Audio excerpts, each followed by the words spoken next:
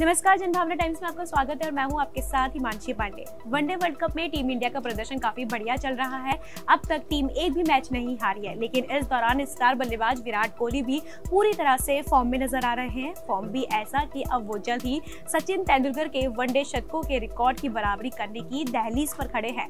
जी हाँ विराट ने उन्नीस अक्टूबर को पुणे में बांग्लादेश के खिलाफ नाबाद एक सौ तीन रन की पारी खेलकर अपना अड़तालीसवा वनडे शतक लगाया और अब तेंदुलकर के वर्ल्ड रिकॉर्ड रिकॉर्ड के बराबरी करने से सिर्फ़ एक शतक दूर है। भारत के स्टार बल्लेबाज विराट कोहली ने कहा कि अगर हम क्रिकेट के बारे में बात करें तो मैंने कभी इतना सब कुछ हासिल करने के बारे में नहीं सोचा था। जैसे क्या मेरा करियर कहाँ है और भगवान ने ऐसा करियर और प्रदर्शन का आशीर्वाद दिया। मैंने हमेशा सपना देखा था कि मैं ऐसा करूँगा, लेकिन मैंने कभी ऐसा नहीं सोचा था कि चीज़ें इस तरह से आगे बढ़ेंगी। कोई भी इन चीज़ों की योजना नहीं बना सकता है कि आपका सफ़र कैसा रहेगा और आपके सामने कैसी चीज़ें होंगी।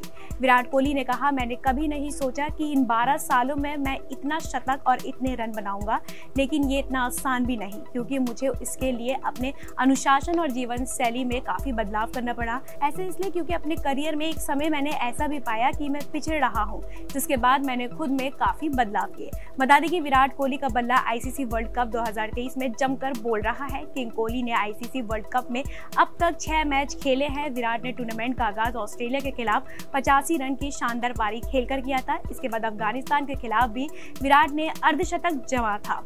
बांग्लादेश के खिलाफ कोहली के बल्ले से शतकीय पारी निकली थी, जबकि न्यूजीलैंड के गेंदबाजों की भी विराट कोहली ने खूब धुनाई की थी। वहीं उन्होंने पचानवे रन की दमदार पारी खेली थी। कोहली छह मैचों में अब तक तीन सौ चौवन रन बना चुके हैं। फ़िलहाल इस खबर पर आपकी क्या राय है, हमें कमेंट्स बॉक्स में ज़रूर बताइएगा। और ऐसी खबरों के लिए आप देखते रहिए जनभावना टाइम्स।